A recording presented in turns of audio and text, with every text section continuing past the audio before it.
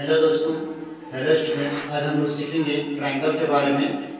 तो मेरा टॉपिक है त्रिभुज का वर्गीकरण क्लासिफिकेशन ऑफ़ ट्रायंगल्स फ़र्स्ट है न्यूनकोण त्रिभुज। इसको इंग्लिश में हम लोग बोलते हैं एक्यूट एंगल ट्रायंगल यदि त्रिभुज का प्रत्येक कोण 90 डिग्री से कम हो तो वह न्यून कोण कहलाता है।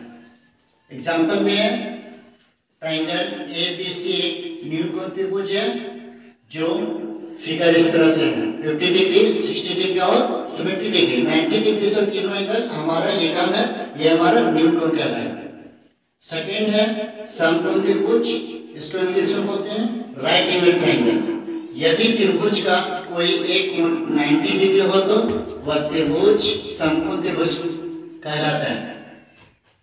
ट्राइंगल पी क्यू आर एक समकोण त्रिभुज है।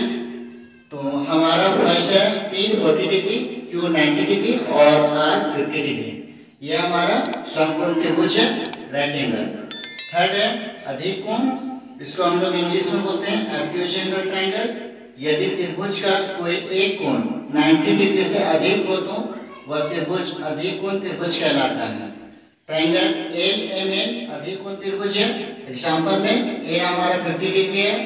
एल हमारा 25 डिग्री है और एम 140 डिग्री जो 90 डिग्री से अधिक होता है, वो हमारा अधिक कोण कहलाता है, जिसे इंग्लिश में ऑब्ट्यूज एंगल कहते हैं।